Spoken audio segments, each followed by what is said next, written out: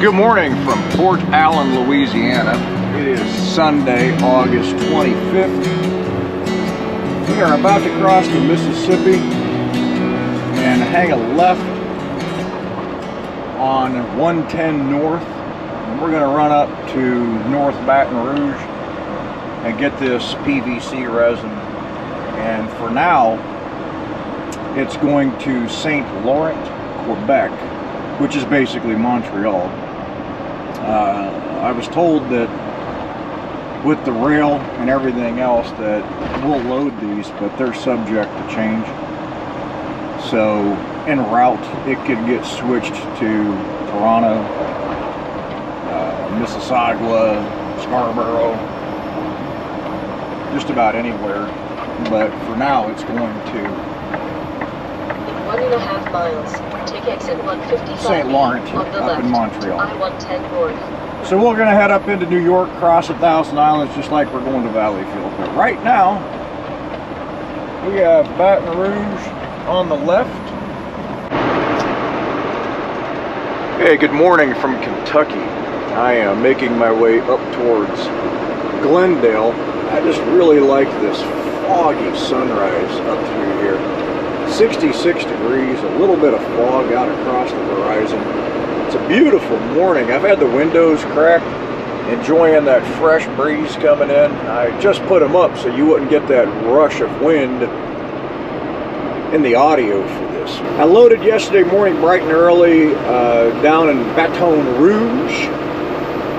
I could not get any video there because there were signs at the gate as soon as you pulled up that said absolutely no cameras.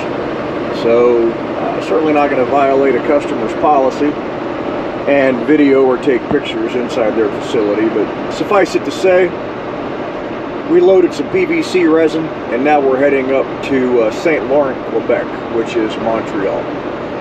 So that's the route.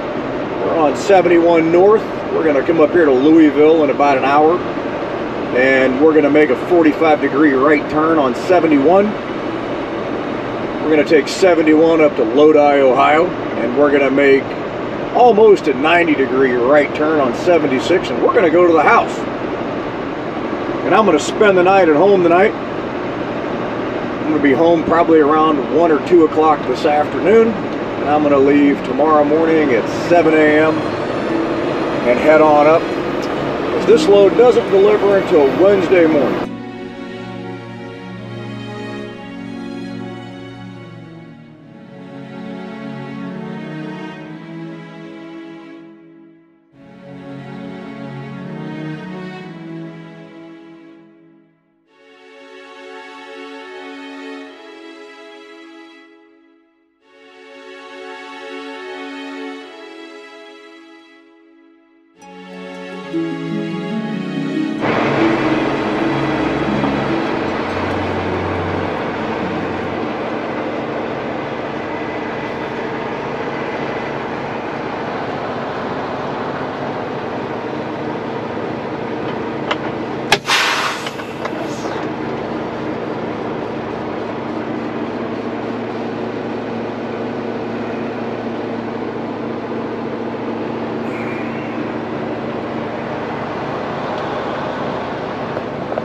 Okay.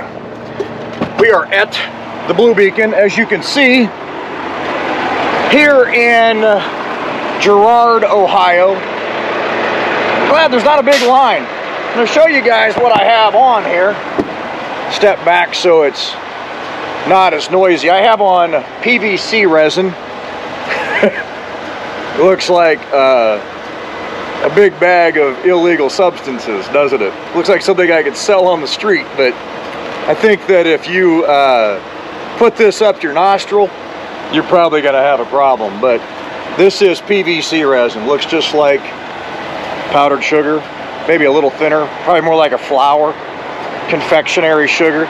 So I take a sample every time, and that's what this is. So the customer needs it, they can have it. And if they don't, they can throw it away. Simple as that. But huh, it's all good. Like I said, I spent the night at home last night.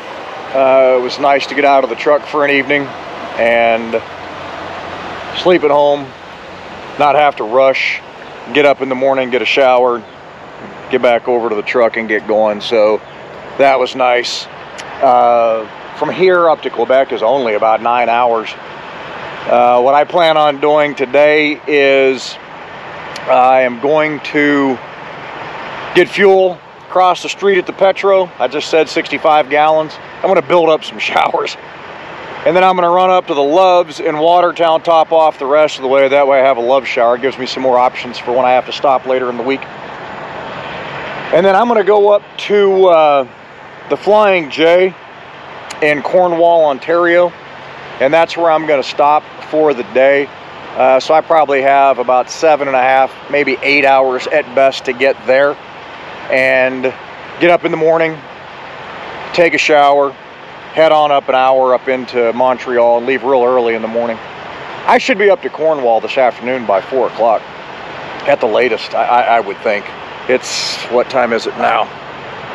7.30 in the morning, and I've only got this one guy ahead of me here at Blue Beacon, so I'll be back on the road in 30 minutes, so that won't be bad. But uh, some of you guys had asked about my switch into VAX vacuum pneumatics. Uh, I'm very glad that I made the switch. I really like this type of work compared to the other. Uh, nothing against Dirt Tank and nothing against End Dump, but I like the type of work with vacuum pneumatics. It requires more thought. Like this PVC, talked to a few of the drivers, kept wanting to load forward. It kept just wanting to blow to the front no matter what we were doing. So you had to think, well, how can I get the back up to close to 34? So we got to thinking about different things like, well, let's put our 90 degree elbow up on the inside and when we first load, blow everything right into the number four tank. And that's what we did. That's what I did. And then from there, once I filled number four, I went up, opened my hatch, took the 90 off, and then let product start to blow forward. It worked great. It worked great. I like that, having to think. And the reason why I like it is because when it comes out great, you can give yourself a little pat on the back. I'm going to show you. Can you guys see that gauge? That gauge is dead on 33,600 pounds. So putting that 90 on the back and getting that done worked out perfectly. Uh, I know it's 33.6 because Tennessee, uh, day before yesterday, was open on Sunday and they were putting almost dag on every single truck on the scale. I had to wait. I don't like that. I got pre-pass. Come on, I'm legal. Get me out of here. But hey, you want to weigh me? Weigh me. I'm legal. When I got on the scale, I was 12,080 on my steers. I was like 32.7 on my drives. I was down on fuel. And I was 33.6 on the back. I'm like, that's pretty daggone good. So that's what I like about vacuum pneumatics you got to think about things. You can't just go in there, whoop, let's just throw it in the top and get out of here. It requires some, uh, some thought. And not only that, but to stay a lot cleaner. So when I'm coming in here and I'm spending money on a truck and trailer wash, well on a truck wash, Oakley's paying for the trailer, it'll stay relatively clean, and the truck has. I mean, look guys, you know, for all intents and purposes, the truck looks great. So anyhow, a little bit of chit chat this morning. We're gonna hop back up in the truck. We're next in. They've got this Boyce household goods mover in there. And then uh, we'll be next, and then we're gonna go across the street, like I said, splash on 65 gallons and beep, beep. Catch you in a little bit. Hope you're having the best day.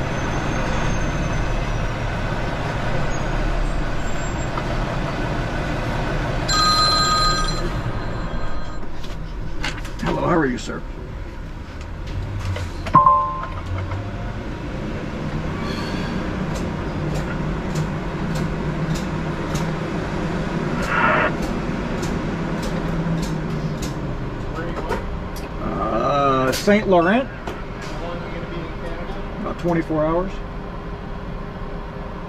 Anything to declare at all? No, sir.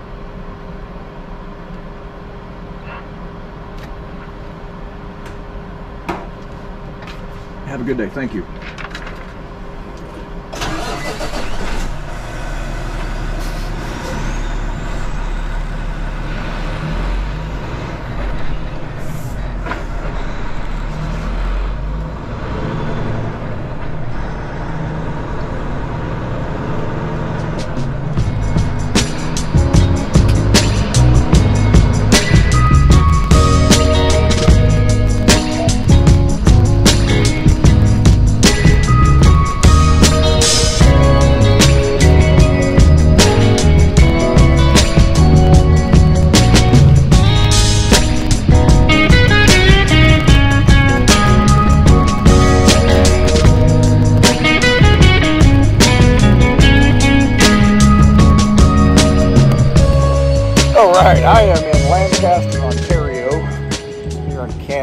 About 48 miles from my delivery in the morning up to St. Laurent, which is uh, Montreal, basically.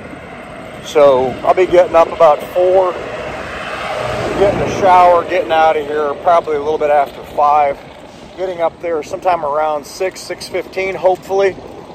And I'm gonna hang out probably for about an hour and a half. They open at eight, so looking behind me to make sure I don't get run over. I'll do a quick 360. Over here is the Flying J, and I am parked right over there. Got an end spot, which is good up against the curb, so I don't have to worry about hopefully people ripping the hood off my truck. I don't trust these guys, but again, I'm going to get up early and go and try to get this load delivered. I don't know what I'm doing next. Apparently, the loads in Louisiana have dried up because I heard that the rail was ordered back to work here in Canada. I haven't looked that up. I don't know for certain, but I heard that, which it makes sense if they were ordered back to work. Then all these loads that we were covering, again, one car, one rail car's four Oakleys, would disappear. So it's eh, at least I got a good one for the first one, the only one. I mean, basically Baton Rouge to Montreal. That's 1,700 miles darn near. I'll take it. But uh, so I'm not sure what I'm doing next. I don't know if I'm doing Valleyfield or if Nick is going to have me bounce back down to uh, the states to do something else. I don't know. We'll figure it out. And I'm glad I got here when I did. Well, all the trucks are coming in now. There was a lot of parking left at this Flying J, so I pulled right in and got me a good spot. But there's a restaurant over here called Bordeaux's. And when I was here, well, let me take a step back. I laid over here a year ago, February, uh, February of 2023. Michael Hutchins and I brought a load of soda ash out of Buffalo over to Montreal, delivered it on Friday, Friday night. Came over to this Flying J, sat here all weekend because we couldn't wash out till Monday morning. And then we went over to Valleyfield and loaded for sulfur down in Lake Charles, Louisiana. And we spent all weekend hanging out there at that Flying J. But this Bordeaux restaurant right here is awesome. And him and I came over here and sat down, had a few dinners and lunches and whatnot. And he's just a super good guy. Uh, gave me a chance to meet him. I'd never really met him until then, so that was awesome. And I was grateful for that. But uh, anyhow, we're gonna go in here and see if we can get a bite to eat at Bordeaux. And I've been wanting to get back here ever since. So we'll catch you guys in a little bit. Bye bye. So I'm sitting in Bordeaux. This place is just a really quaint little diner. Anybody in here. But it's a really awesome place, just a regular deli type diner. They serve excellent food. Um, it's a really good place to eat. I like it here. I've wanted to get back here. I'm glad I had the opportunity. And it was actually my plan when I left the house this morning to stop here specifically to come over here and have a bite to eat and get up at the Flying J and get a shower and head on to deliver, as I said, tomorrow morning. Out over here is the truck stop where you see these guys pulling in. So it is literally adjacent right next door. I've arrived at my location here in St. Laurent, Montreal.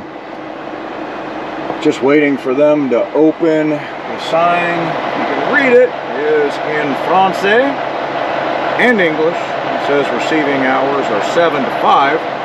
But I just checked with the man right down there and he said to ring the intercom, which is right there, and they need this, they would let me in. Well, no one answered, so I'll just hang out in front of the gate. Uh, there's a lot of flatbeds sitting out in the road because this is a PVC plant. So they obviously load a lot of flatbed PVC out of here.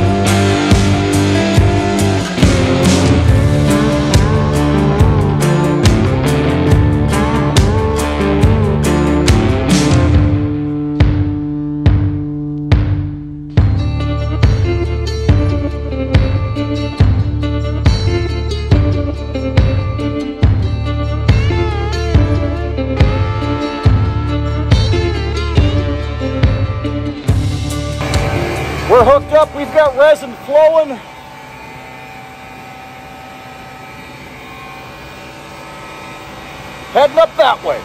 Uh, beautiful day here. It's about 70 degrees. It's cool. I like it. It's not real humid. It was 90 yesterday when I parked up over at the Flying J at Lancaster. But uh, it's a nice morning. Looks like it might rain. It's going to keep it cool, I hope. But we're getting it done. Bruce Oakley Vacuum Pneumatics, PVC resin here in St. Laurent, Quebec, basically Montreal. If you guys are interested in Oakley, Jimmy's Road Life, LYFE at gmail.com. New subscribers, old subscribers, I really appreciate you. Thank you. Hit that like button if you find value in what I'm putting out or entertainment or both. And I appreciate all y'all. God bless you. Have a great day. We're going to get this resin off.